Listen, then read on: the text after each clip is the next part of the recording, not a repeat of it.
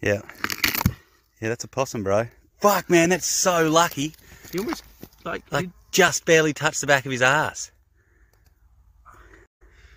What the fuck? Roll that one out of the way. That Happens to fucking Ando all the time. It's never happened to me. Come on, get out, you bastard. Fuck. That must have been so. It must have been shitting. Oh, I can't even get that kind of part. So how are we going to get him out? how the fuck do you get in? Roll him up this way.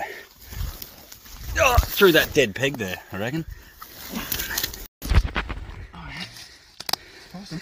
Yeah, stick your hand in there and drag him out, Tom. I was fucking joking, dude. As if you do that, you're mad cunt. Oh!